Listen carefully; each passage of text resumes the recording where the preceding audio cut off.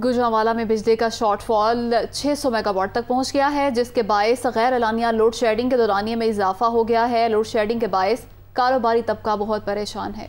इस हवाले से मजीद जानते अपने नुमाइंदे फाहद बशीर से। आज देखिए, गुजरावाला में बिजली का शॉर्टफॉल 600 मेगावाट तक पहुँच चुका है, जिसके बायस गैर अलानिया लोड शेडिंग में दिन ब दिन इजाफा हो रहा है।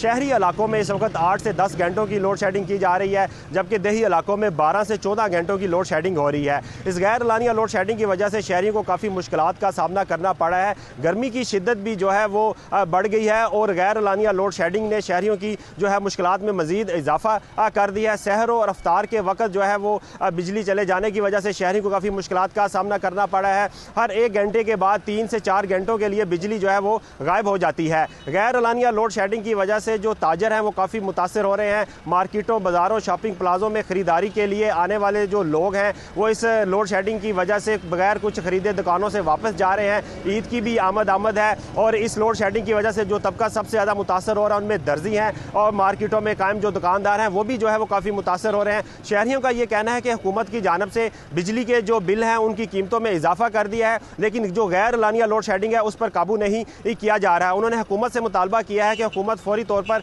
इस गैर लानिया लोड शेडिंग पर काबू पाए और उन्हें जो है वो रिलीफ फ्राहम करे। जी।